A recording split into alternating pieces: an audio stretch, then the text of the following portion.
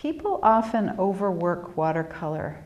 I find that we go from our techniques to painting and then suddenly students are overwhelmed and they begin to work and work and work at a painting to the point where it's muddy and they become frustrated.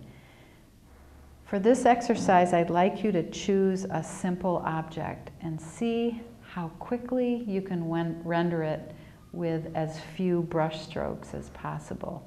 You might take an object like a banana or an apple and go over it once and then stop. See if you can do it in, I don't know, three or four brush strokes.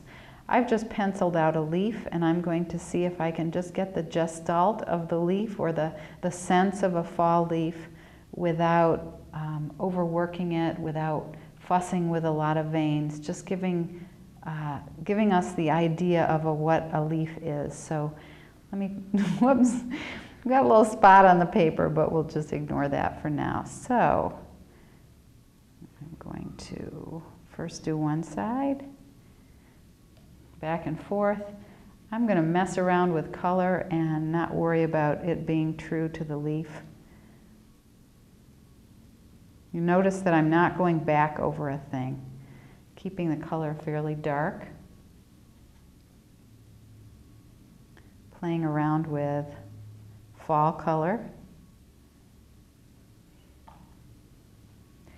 And I think I'll even get some dark Payne's gray in there.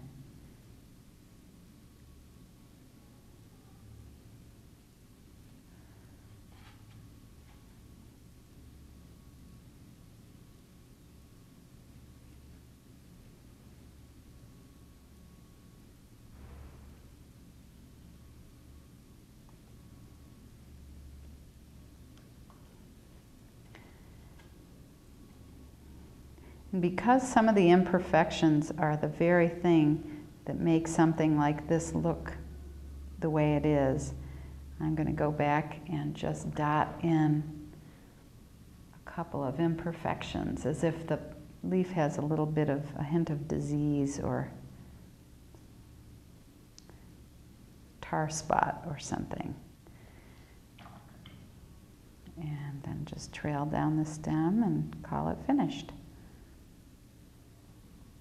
So you might do this as an exercise and just simply seeing how quickly you can render something without going over and over again, and then leave it.